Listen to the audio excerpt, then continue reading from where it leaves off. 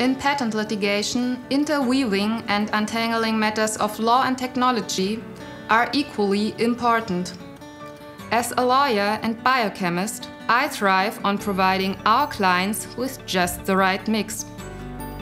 I'm Kerstin Galler, an attorney at law at Bardehle Pagenberg.